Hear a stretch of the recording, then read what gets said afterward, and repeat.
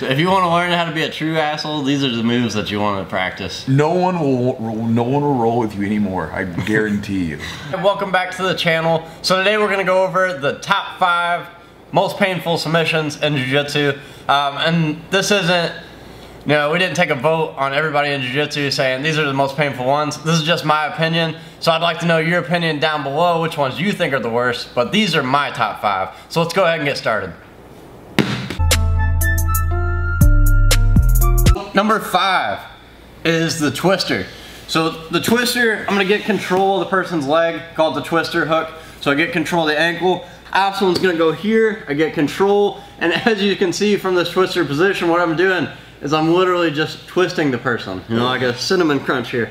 So I go here, I pull them, I get my tap, and it's a really nasty submission.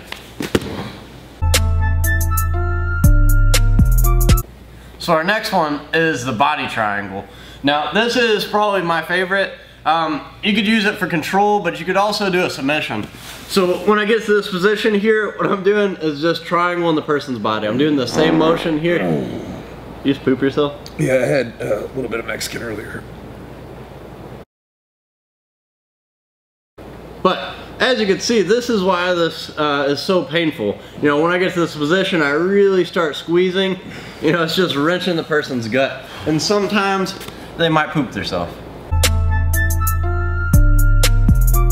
So number three is the crotch ripper. So this one is extremely painful. Unless you're going against like Michael Jackson and the person can do the splits. You know, once I get to this position, I get control, pretty much what I'm doing. And you can also really hurt someone's knee from this position. But I get control and I'm just trying to extend the person out until he taps. And, and unless they're really flexible in their hips, this is probably one of the most painful submissions in Jiu-Jitsu. It sucks to get caught in. So number two is the rib crusher. I remember when I first started Jiu-Jitsu, almost every single wrestler that came to Jiu-Jitsu, they would learn this move and they would just squeeze you as hard as they could. And this really sucks and it's probably one of the most uncomfortable things to be in. But from the guard position, what they're doing is pretty much just TPing the body. So they go here, they go right at your lower ribs, they'll get control and then they're just gonna oh, straighten.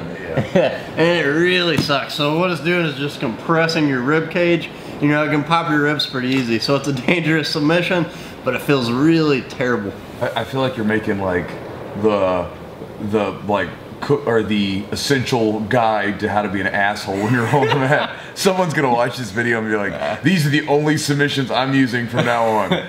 Like, yeah. So if you want to learn how to be a true asshole, these are the moves that you want to practice. No one will, no one will roll with you anymore. I guarantee you.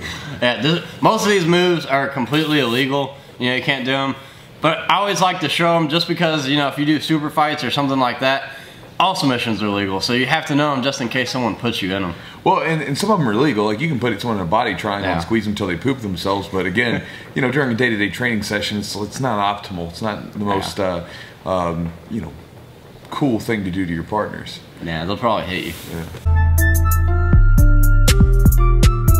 Now, the number one most painful submission um, I chose this one because I absolutely hate it when someone does this to me and they get right on your jawline and your face. It's a face crank from back mount.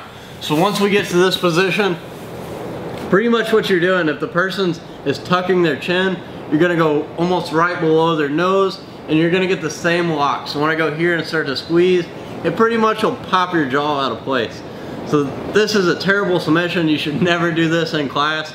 But if you watch like a lot of the advanced people right now, I don't know why I'm crossing my feet right now, that's terrible jujitsu. But I got right here. You watch a lot of the advanced people right now, they'll get to this position, of the person's tucking their chin just because it is allowed in tournaments and they'll start squeezing and it sucks. And if you don't tap, it's gonna dislocate your jaw and your face is gonna hurt for a really long time. So with that said, the only submission that you can do in class is the body triangle and you still don't wanna squeeze your partners really hard these are just the most painful five submissions, just so you know them. Keep them in the back of your head. You can try them out in class, but be really, really careful and mindful of your partner. Remember the purpose of training is to train and not hurt your partners. Is to use this stuff in competition when you're allowed. As always, no liabilities.